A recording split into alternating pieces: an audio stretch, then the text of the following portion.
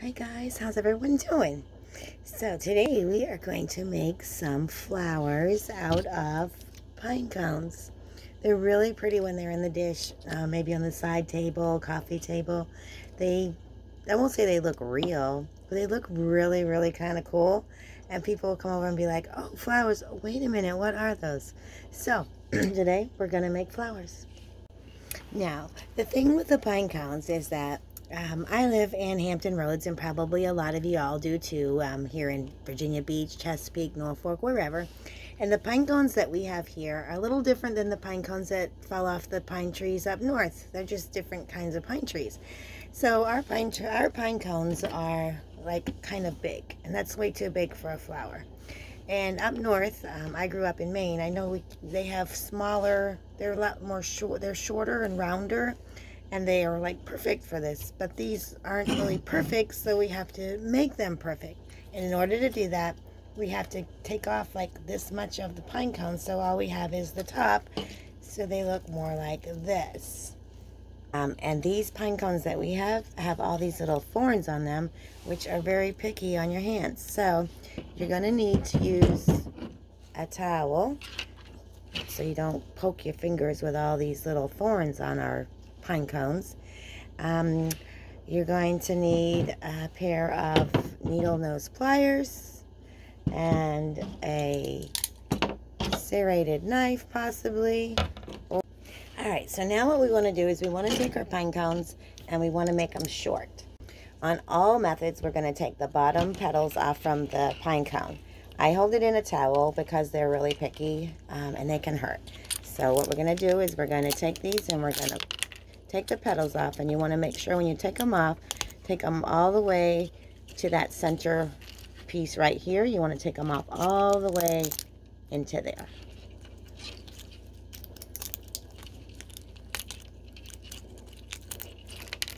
See how the bottom is? But we want to once we take off too many petals that that bottom center piece gets like a stub. So we've got to get the stub off eventually once we get to that point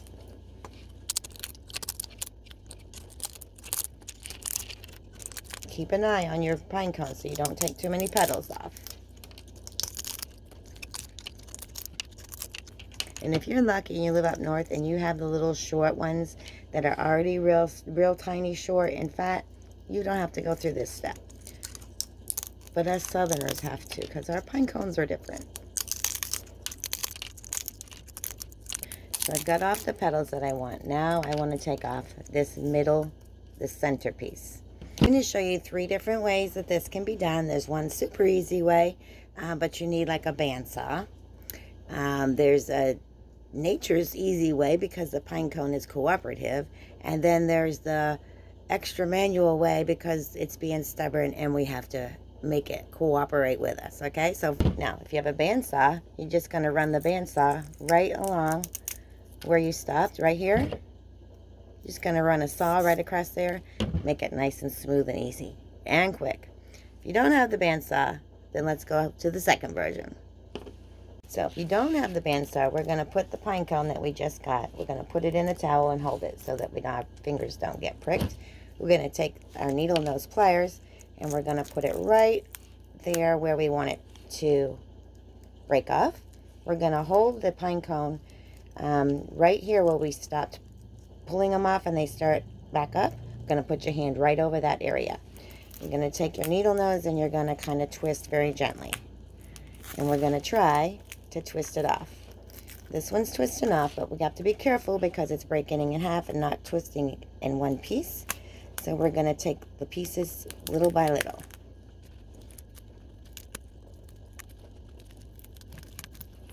Like that. We'll take our pine cone out of the towel and we're just going to try to make this a little bit more flat. If it looks like you're going to tear the whole pine cone up, I would just go ahead and leave it. Now, that's what you want.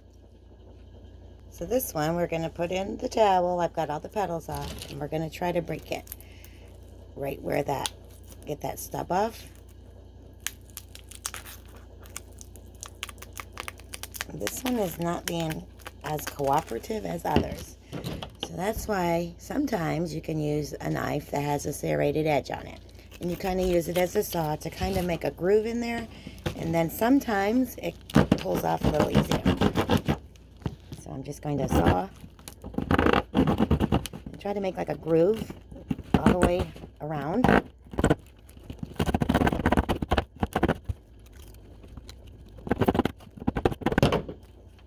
Take the needle nose and try it again. And try to salvage the pine cone. We did pretty good. We just have this one piece. Hopefully we can just break right off and there we go. Now yeah, I have some made. You can see they're like different sizes. So this one's a little bit bigger. Um, and then I've got some that are a little bit larger. What you don't want is you don't want this whole big old pine cone because it doesn't look like a flower. But okay, so I'm going to finish up the rest of my pine cones. You guys get your pine cones all cleaned up and um, shortened, and then we'll start painting. If your workspace looks anything like my workspace, it's a mess from all these pine cone petals. So I'm going to go ahead and I'm going to clean up my workspace so we can, when we start painting, it's nice and clean. All right. So let's all just get all these um, picky petals picked up. And how many times can you say that fast? Picky petals picked up. Picky petals picked up.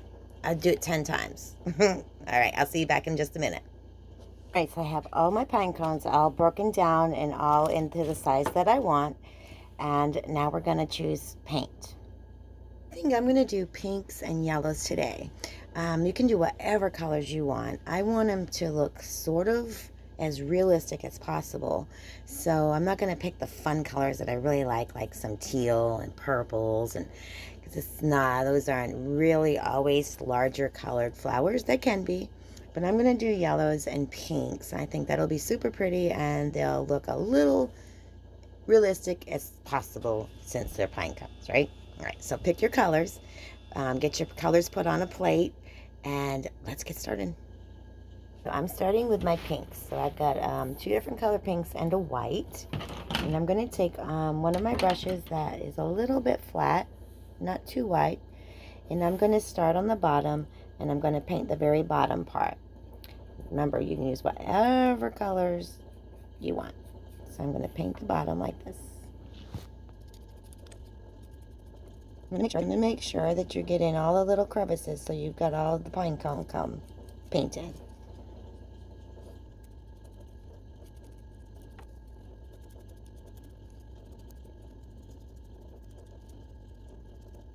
Oops.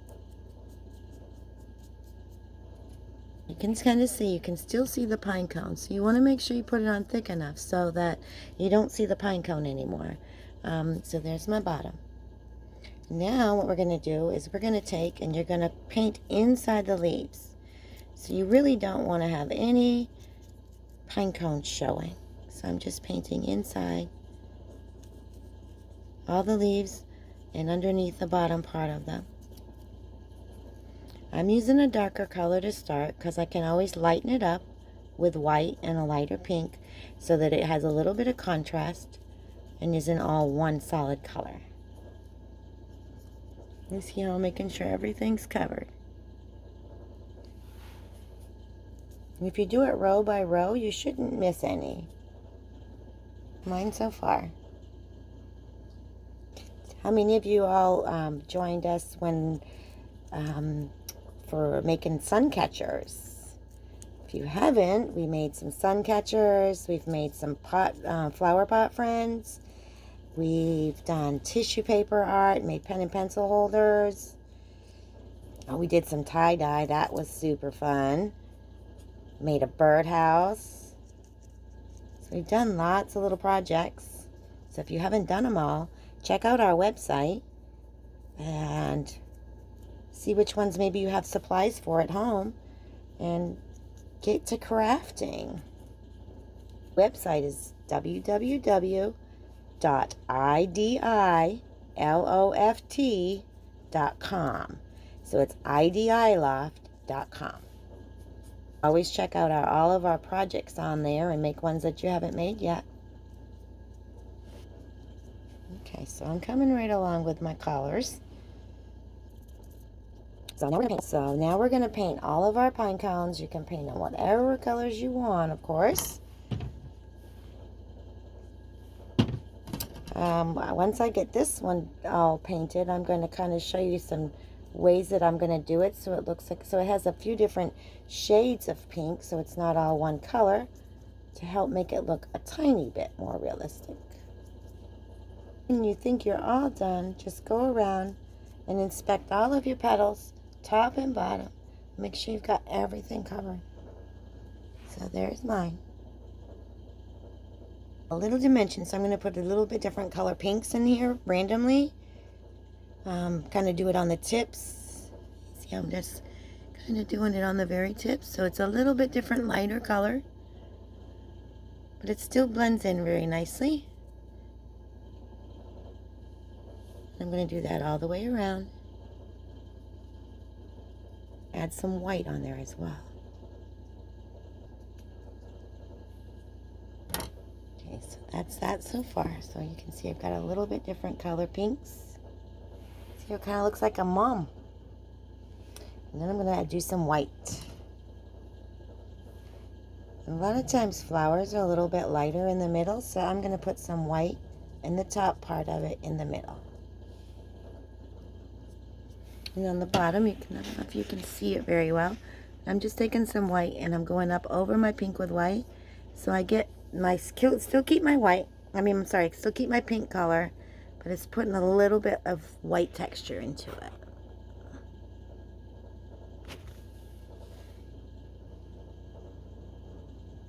It looks like a pretty cool flower, doesn't it?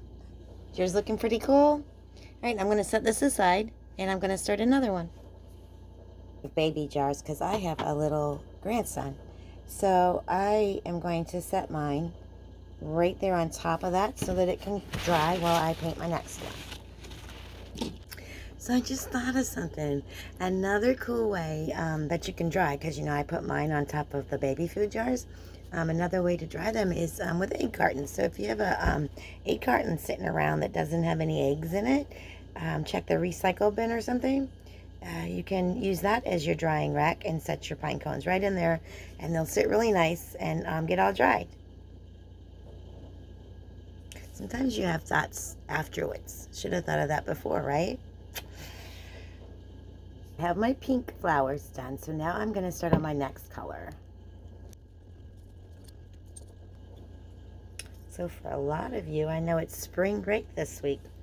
Spring break does probably doesn't seem as fun and exciting this year because you've been on a little bit of a break from not being in school, even though you still have to get your homework done. But at least there's no homework this week. Gotta always try to find something, the silver lining, the bright side of it. So this week's bright side is no homework. Okay, I'm almost done with this one with all the white and then I'm just gonna tip it with some yellow. So I made sure to get all inside there.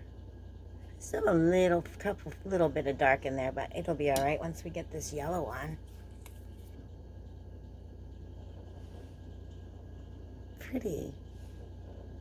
I'm just bringing some of it up from the bottom, along the bottom.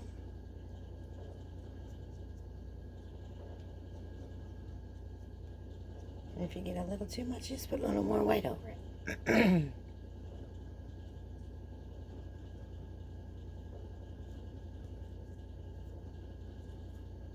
there. Just for the heck of it, I'm going to try a yellow one and then do a lot of white on it and see how that looks. I'm just curious if it will be too much. They're just pine cones, so I can just make another different one if I need to, right? we know there's plenty of pine cones out there. Okay, so I've got it all yellow. Now I'm going to just, I'm going to put white, but I'm going to do a lot of white. So, um, no more than just tipping it. I'm going to do a lot of it so that it's more, I don't know, just not quite so yellow. my white uh, that I have over here is what I used with my pink. So it's got a little bit of pink little pieces in it. But it actually looks kind of pretty with this yellow. So kind of like a hybrid flower. It looks kind of cool. What do you think? Let that one try. All right, so now our pine cones are all, well, they're not really pine cones. Our flowers are all dry. Are yours dry? Take a look at what mine look like. Here are mine. So now all we have left is to put them in a bowl or a basket or something pretty to hold them. What better? How many of you all made the magazine bowl with us? Perfect. So now we can just put them right inside the magazine bowl all the beautiful colors from the bowl with the flowers are going to look gorgeous. So we're just going to arrange them in here. Just kind of put them in. I'm going to put the, the larger ones in first and then the smaller ones around. And I'm going to kind of try to alternate the colors so I don't have all of one kind. And I'm going to put some right in the very bottom, one of the bigger ones right in the very bottom so that the bottom of the bowl doesn't really show. You're going to see, all you're going to see are the beautiful flowers. And what you want to try to do is try to hide the very bottom piece. Put that inside the bowl or wherever you're using to hold it. Put that right inside there so that we don't see it. And all we see is the beautiful, pretty flowers.